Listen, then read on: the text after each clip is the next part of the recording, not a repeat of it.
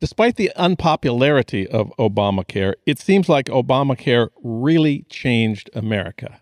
Yeah, I, I, mean, I do think it created this expectation level that the government uh, is not going to be a, a laissez faire player in the healthcare market. We're going to work to make sure that you have access to affordable coverage. And once you lay down that marker, I mean, in 1993, Bill Kristol sent this memo talking about uh, Clinton's uh, attempt to do universal health care. And he said, we have to stop this because once you get that expectation, uh, the public is is going to demand it, and that's exactly what we're seeing play out. So, you know, maybe a stop clock being right twice a day. Bill Kristol was right. He, he, he this was and and a, a, a way in which the the system changed, and it changed for Democrats and Republicans, by the way, because Democrats, should they get back into power, are going to have to come up, you know, deal with this expectation level, and if the coverage is too expensive, like like some say with Obamacare,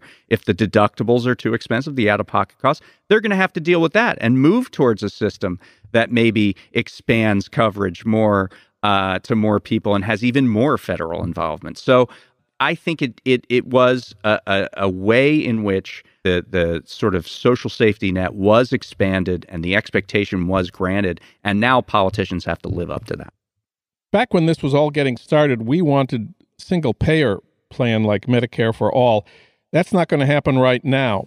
But do you think it's in the future anytime? Now that Obamacare has really set this expectation, and and and now that the the public really has a, a, a need and and a belief that they you know have this that they get universal coverage, that they get good affordable coverage, I think that's one way that you can see it being done. And interestingly, even in his sort of exit interviews, President Obama has said, well, one way you can fix Obamacare is with a public option. One way you can do it is with a Medicare buy in at 55. And once you nibble along the edges, you you have people up to 26 on their parents' plan. You have uh, Medicare maybe goes from 65 to 55, and then you nibble that down, and people can buy into Medicare. Uh, if you burn that candle at both ends, eventually you get a single payer system.